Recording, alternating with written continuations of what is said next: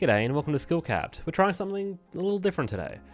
2024 is going to be a crazy year for Warcraft, and we're very much in the calm before the storm. That's a lot of reason for you to be excited, but for your humble content creators, it poses a serious challenge. Season 3 is very settled, there's nothing really to talk about. The War Within is ages away, nothing to talk about there. And even Season 4 has like an avant garde release schedule where there's nothing to talk about on that front either. So you know what that means? It's time for a cynical filler episode. But like, you know, as far as these things go, I thought that eight old dungeons that I'd want to see in the War Within, I thought that was a great idea. So much so that I didn't really think about it. Like, you know, I had it pitched and approved without really picking any dungeons. So after the meeting, I immediately pulled up a list, and within about 60 seconds, I produced this list of candidates. Do you see the problem? That's right, there isn't one. It's a good list made up of popular dungeons. It's safe. A 20 minute video explaining why these dungeons are good would be a nightmare to watch, and uh, perhaps more importantly, it would be a nightmare for me to have to write.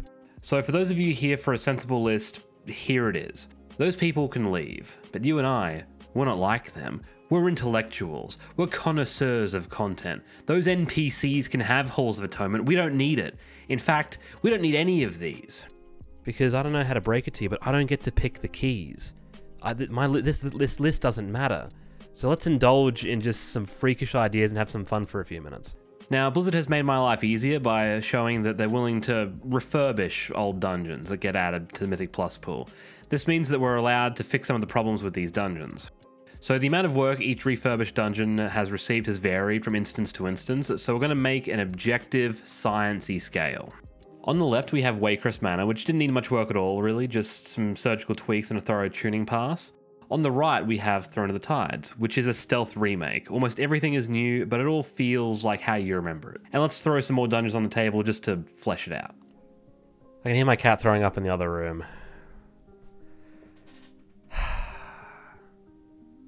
Son of a bitch. Maw of Souls.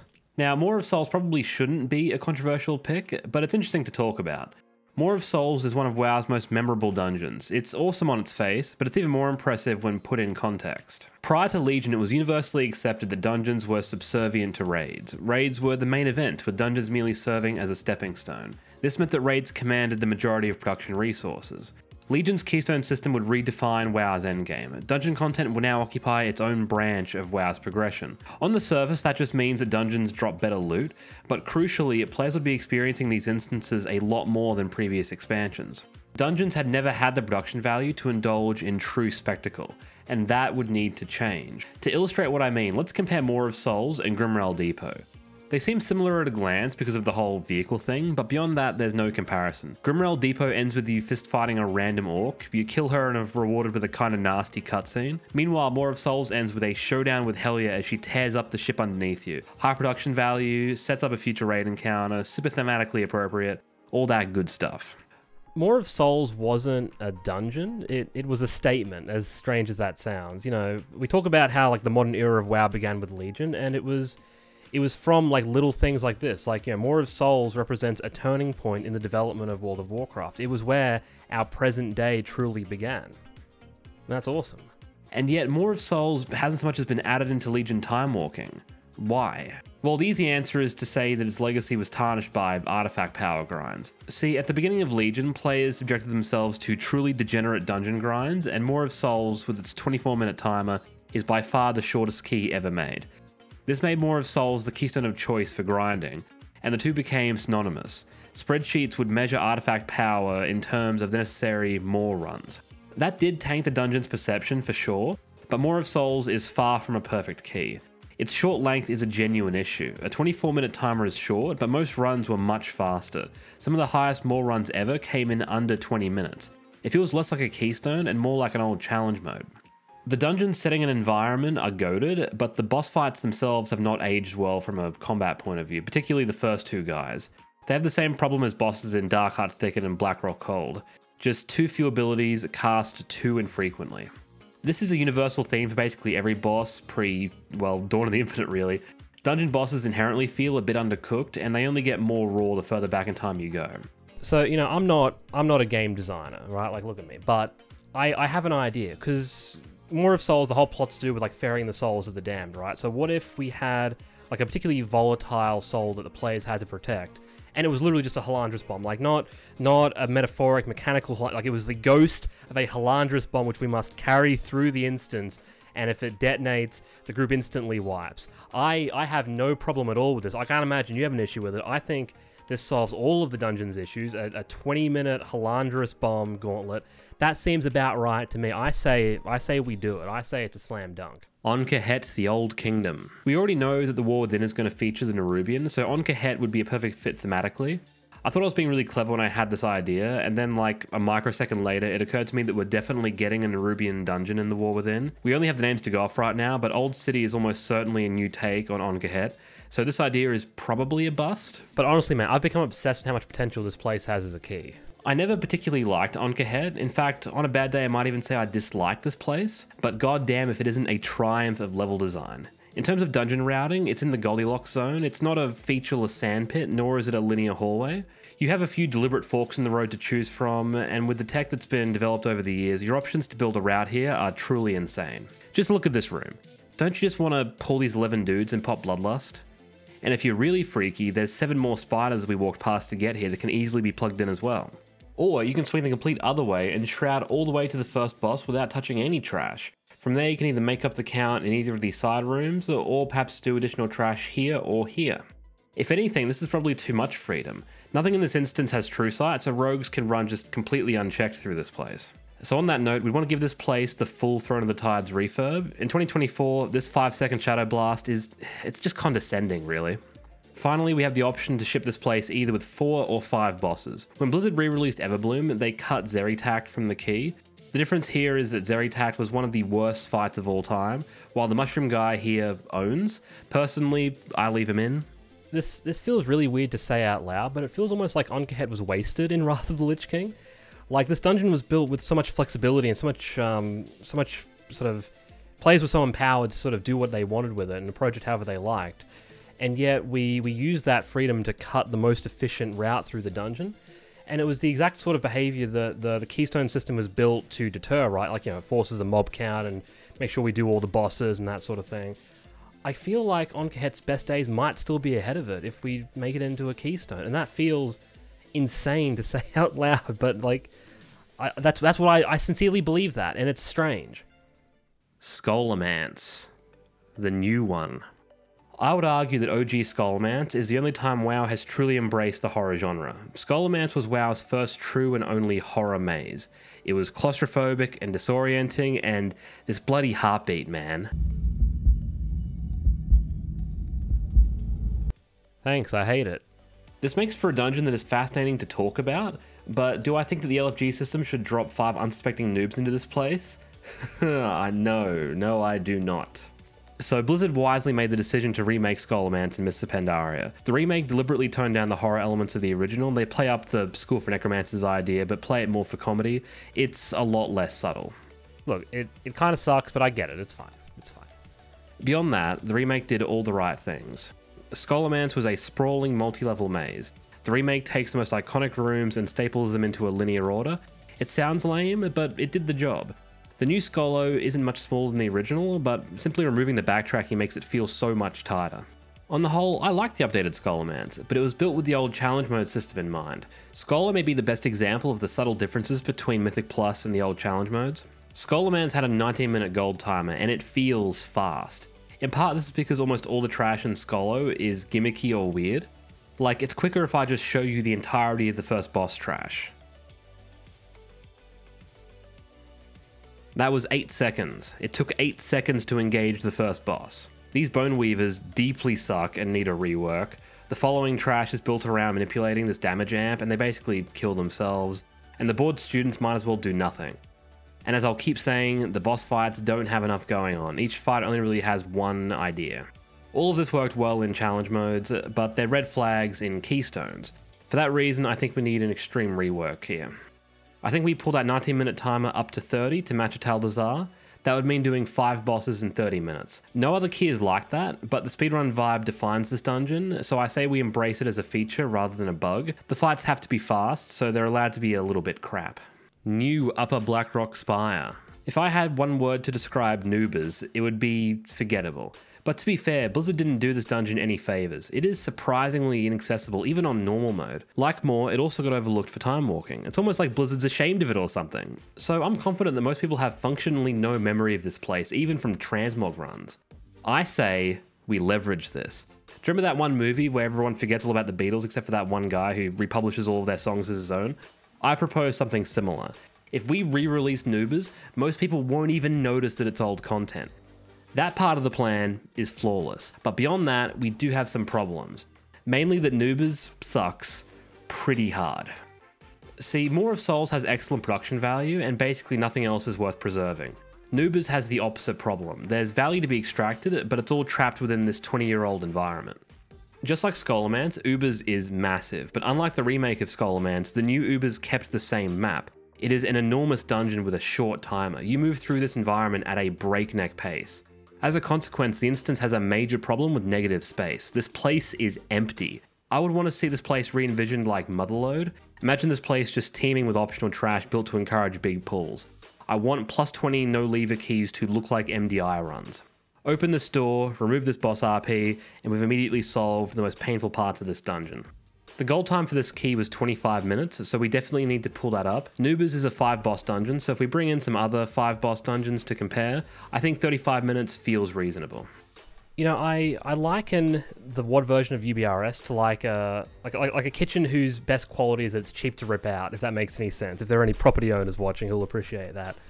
Um, it's almost it's a blank slate that a smart designer can like impose modern keystone principles onto, and and I think that's that's interesting because I think if if done correctly, we end up with like a kind of bad lower Karazhan with orcs, and that I, that sounds really exciting to me. And if you don't like the idea of a kind of bad lower Kara with orcs, maybe don't attend my birthday party this year.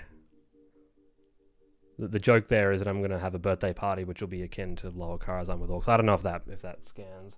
The Blackrock Caverns. A surface level evaluation of Blackrock Caverns would tell you that it's just a bland cave. But, my friend, you cannot survey the depth of a cave from the surface. You have to go deeper. The dungeon is essentially a smuggling network. Deathwing carved out a passage between the major continents, and his Twilight cultists are using it to travel back and forth and cause mischief. Cataclysm was all about blending iconic WoW imagery into something new, and this place is a great example of that. The tunnels are evocative of the Molten Core, which lends a lot of orange to the colour palette.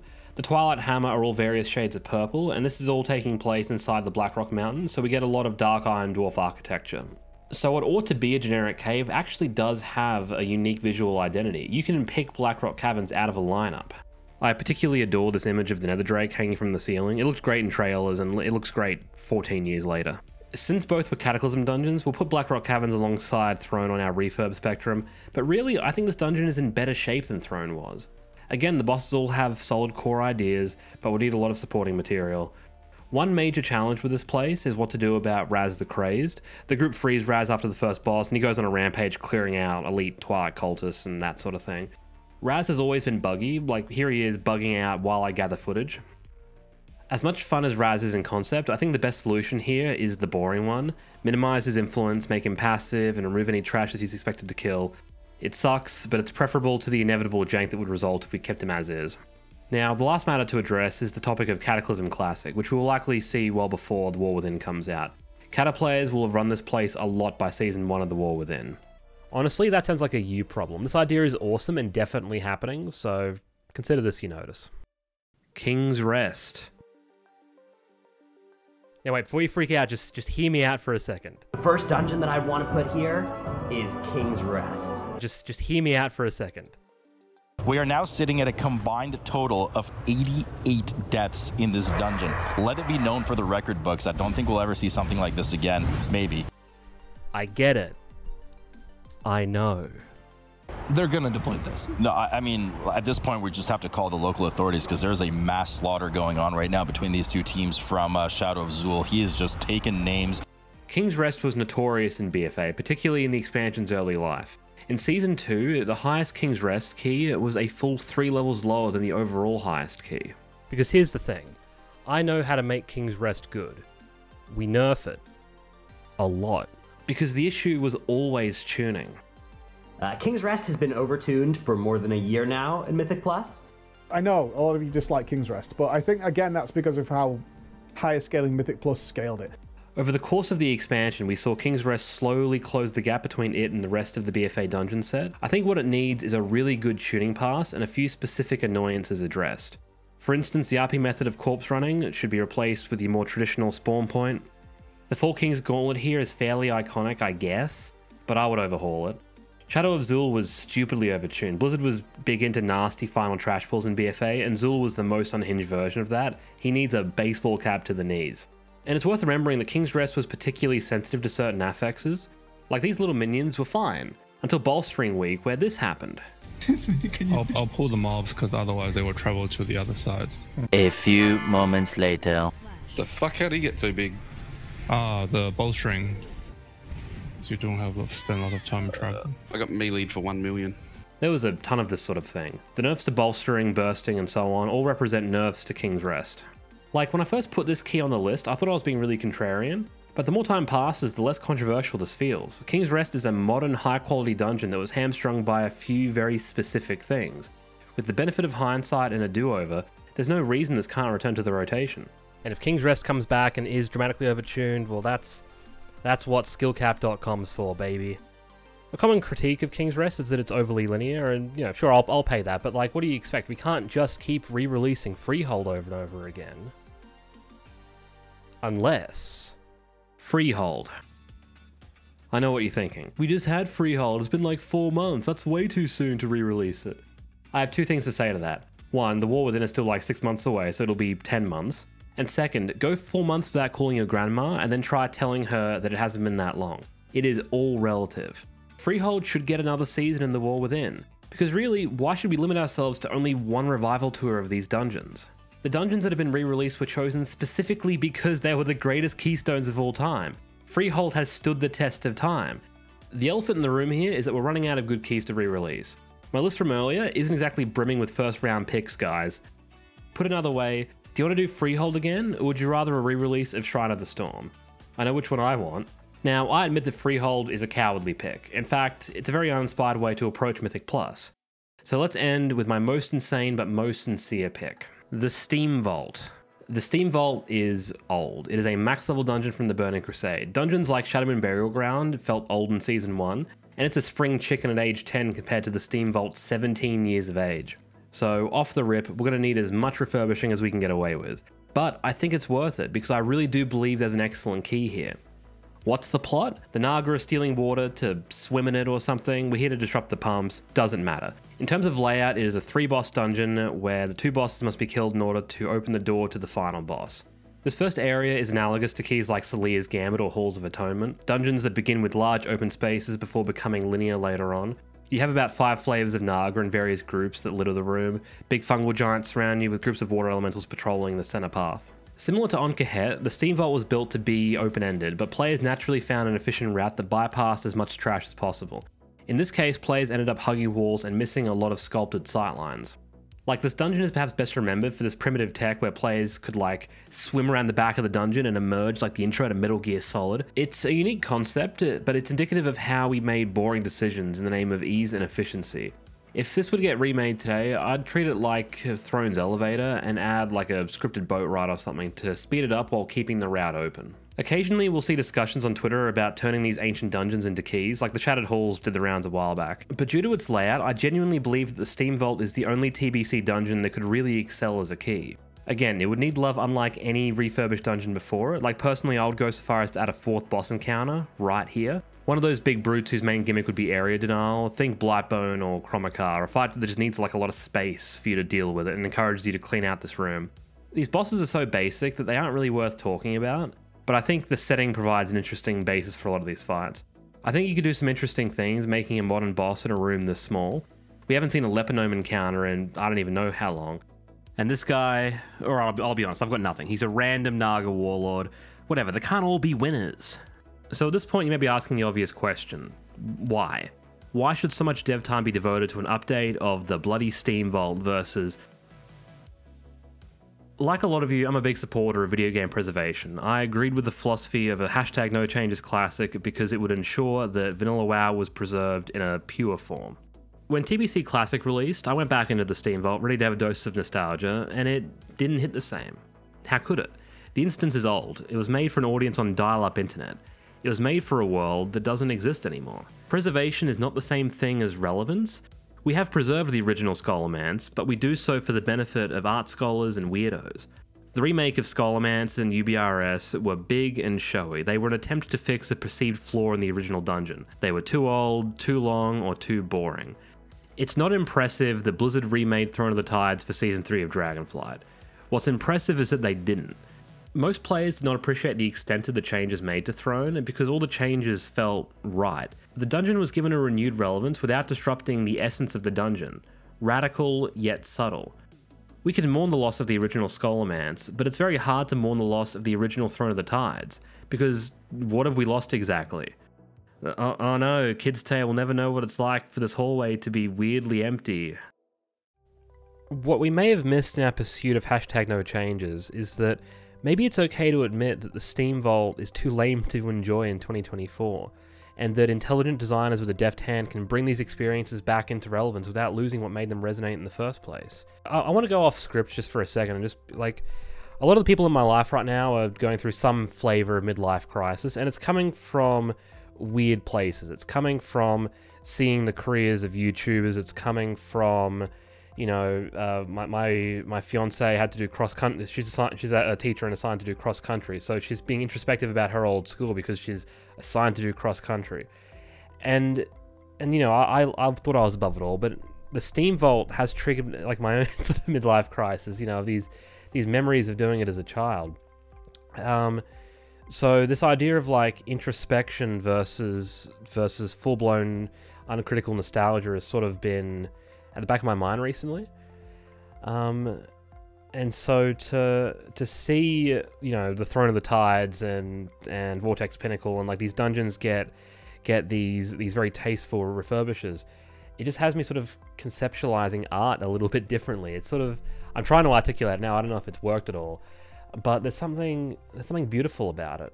You know, to, to sound like a complete wanker for a second, there's something that I've found I found profound about this idea of uh, you know like maybe these dungeons like that, that we celebrate the artistry that we celebrate um, is uh, is not so rigid that it has to remain untouched. There's no way that's all making into the video, right? That's that's getting cut, right? That was good though. Maybe I'll just leave it in. Put another way, we aren't re-releasing Ahn'kahet because our best days are behind us. We're doing it because our best days are still ahead. Because, to be honest, this list of dungeons doesn't excite me. This list of keys represents a kind of creative stagnation. World of Warcraft is not developed by civil engineers. Uh, I do not want them making safe choices. If we must be re-releasing dungeons like this, I want to use the opportunity to do something interesting, something bold you know, like making players lug around a Halandris bomb for the entirety of more of so I'm telling you, it's a good idea. You just you don't understand it. Just once you see it, it'll make sense. Just greenlight the project and we'll we'll deal with the particulars later. Hi, you made it to the end of the video and there is a man mowing right over the fence. So I will not linger here too long. Um, what did you make of that? That was that was a weird video, right? Um, obviously that was like you know deliberate shock to the system here very different video from skill capped um, we want to pivot the voice of the channel just a, a little bit. And um, uh, and the goal was to try something very different to sort of like gauge reaction. So what did you make of me as a voice talent? What did you make of these on camera segments? Um, was that any good? Um, we want to make stuff that people want to watch obviously. So if people didn't enjoy that if you didn't enjoy that um, we want to know. So please uh, don't don't don't be horrible. Um, don't don't bully me on the internet, but um, but please, you know, honest opinions of things. So um, so we can't get out of here without doing a quick shout out to skill-capped.com. There's a lot of exciting stuff going on over there in the run up to season four and and the war within in particular. I'm very excited to see all that stuff bear fruit. Um, but for the moment, there's this enormous back catalog of season three stuff to work through, um, and they're doing this little extra offer where if you sign up now, you get a a free VOD review with a pro player every month. Um, which, if you know anything about coaching, that's that's kind of uh, it's kind of an insane offer. I don't know how they're making that work, but um, uh, just be clear, I'm not one of the pro players. you don't have, to, don't have to worry about that. They've got um, they've got actual experts you get to sit down with. Um, but but Brian, if you're watching this, how do you how do you make that work? How do you square that circle? Because that doesn't the math doesn't check out for me. Uh, have a good night.